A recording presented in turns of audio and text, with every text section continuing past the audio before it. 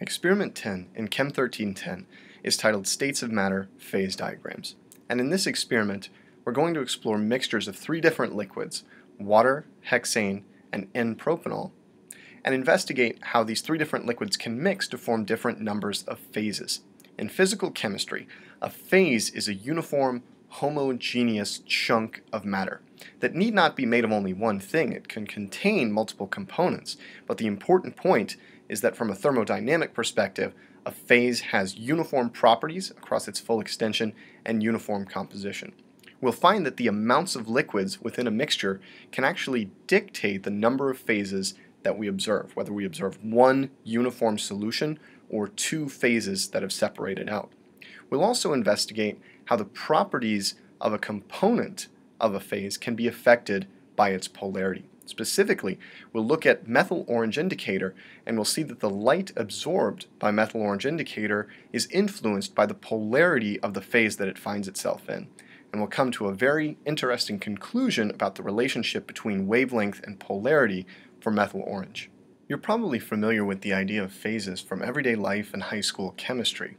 The three most familiar phases of matter to us are solids, which are solid chunks, incompressible chunks of matter that don't change shape, liquids, which can change shape to conform to the shapes of their containers, and gases, which we know expand to fill the volumes of their containers and contain molecules very far apart.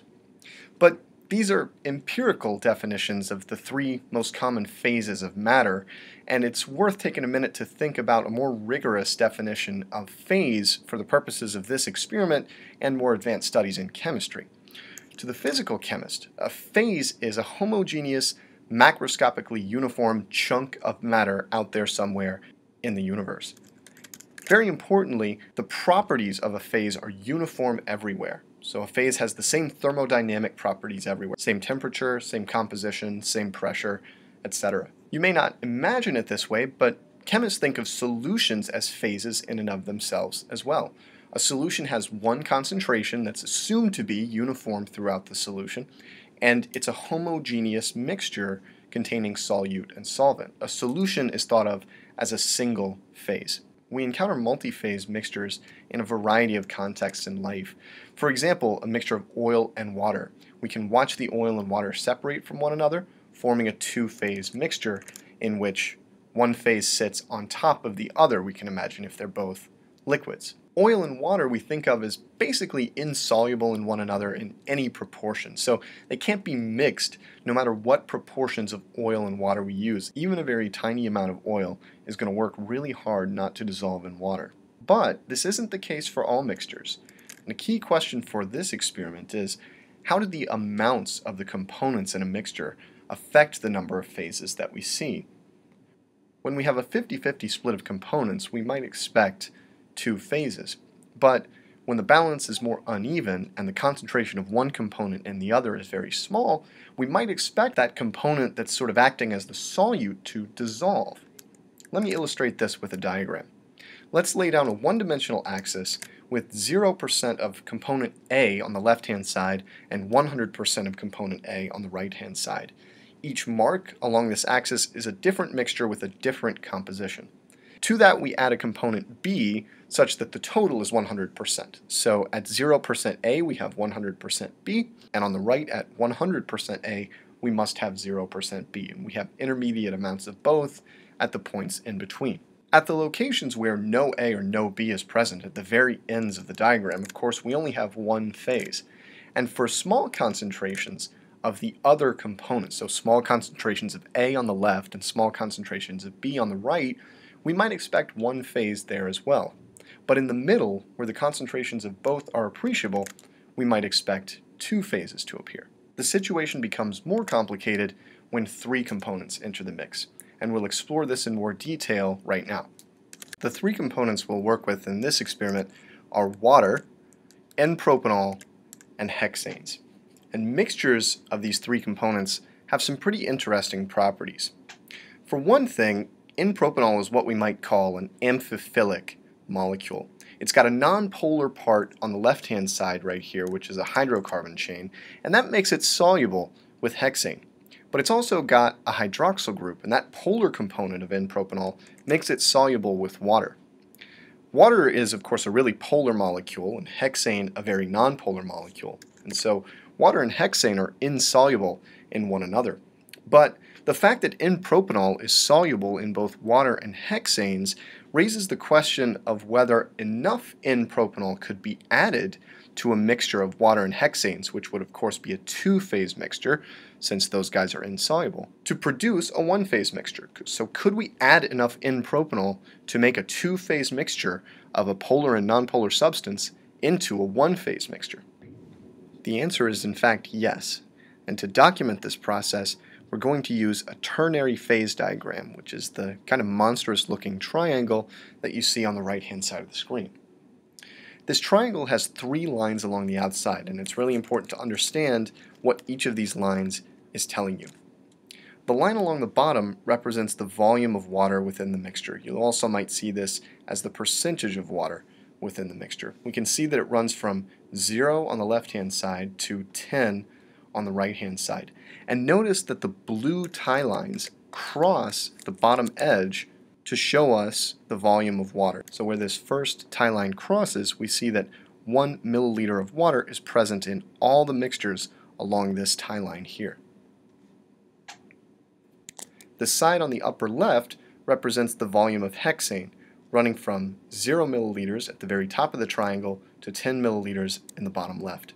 And what we can see now is that the green tie lines cross this side and tell us the volume of hexane in each mixture. So for example, the 5 milliliter tie line sticks out here and tells us that all of the mixtures along this tie line contain 5 milliliters of hexane within them. Finally, the horizontal tie lines correspond to the volume of N-propanol in the mixture. Notice once again that these tie lines stick out from the right-hand side of the triangle and tell us the volume present in each mixture along that tie line. So for example, all of the mixtures along this red line I've highlighted contain 6 mLs of propanol. The places where the three tie lines intersect within this triangle are different possible mixtures, and you're going to measure up to 60 mixtures within your laboratory by pooling the data of all your classmates. To read the composition of a mixture from a given point, we project that point onto the three tie lines, making sure to go in the direction where the tie line sticks out. So for example, if we wanted to determine the composition of this mixture that I've highlighted here, the point right in the middle, we need to move to the right along the red tie line because that's where it sticks out on the right hand side of the triangle. We need to move down and to the left along the blue tie line because again that's where the blue tie line sticks out along the bottom and we need to move up and to the left along the green tie line because that's where the green tie line sticks out. And what we can see is that there are 4 milliliters of propanol in this mixture, 3 milliliters of water, and 3 milliliters of hexane. Notice that the three volumes sum to 10 milliliters. That's going to be true for all the mixtures we use. So you can use this as a check to make sure you're reading the phase diagram correctly.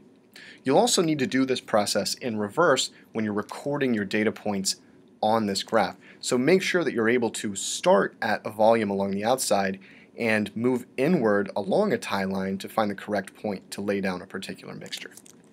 At each point, for each possible mixture of water hexane and N-propanol, we're going to mark on the ternary phase diagram whether we see one phase, we might mark that with a square at the intersection of three tie lines, or two phases, which we might mark with a triangle or some other identifying mark. In the laboratory, what you'll actually do is you'll be assigned 10 different proportions or volumes of the three components. You'll mix them up in a test tube, you'll shake that up and you'll wait and then you will see either one or two phases over time. Now, there will be methyl orange indicator added to the N-propanol. We'll talk about its role in more detail in a second, but take my word for it now that it will allow you to visually distinguish between what we might call the aqueous or the water phase and the organic or the hexane phase when you have a two-component mixture. When you have a one-component mixture, the methyl orange will intermingle with all three components and you'll just see one uniform yellow phase. You'll do that for 10 different test tubes, and by pooling data with the rest of your classmates, you'll construct the ternary phase diagram for these three components. Now, what exactly is the role of methyl orange? So methyl orange indicator is going to be mixed into the N-propanol. The N-propanol will look orange. Don't be alarmed, it's not ordinarily orange, but it will look orange because it will have methyl orange added to it. The primary role of the methyl orange in our context is just to allow us to visually distinguish the two types of layers. The aqueous layer will appear colored, while the organic layer, containing mostly hexanes, will appear colorless. And the trick to this, the underlying science, is that the wavelength of light absorbed by methyl orange depends on the solvent it's in. When methyl orange is dissolved in water, it absorbs light at about 460 nanometers. But when it's dissolved in hexanes, it absorbs at around 390 nanometers, which is in the UV region of the spectrum. So methyl orange is only colored when it's in water. Methyl orange will distribute itself between both components, the hexane-rich and the water-rich components of a two-phase mixture, but it's only colored in the water-rich phase, which is great for us because it allows us to visually distinguish the two phases. But this interesting property of methyl orange, the fact that its wavelength of maximum absorbance, or lambda max, depends on the solvent used, brings up an interesting question.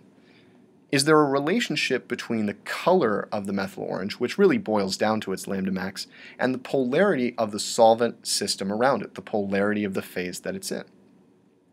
The answer clearly, based on this property of absorbing at 460 in water and 390 in nonpolar phases, is yes.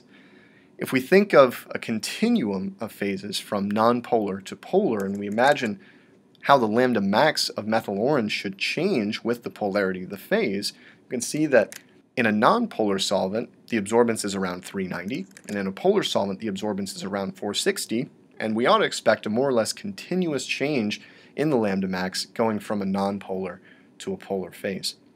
So in the laboratory, we're going to take a subset of the different mixtures that you'll prepare. And prepare a graph of quote polarity on the x-axis. And I say quote polarity because we won't exactly be plotting anything like polarity indices like we did in the pre-lab but we'll be plotting essentially a proxy for polarity and the lambda max on the y-axis.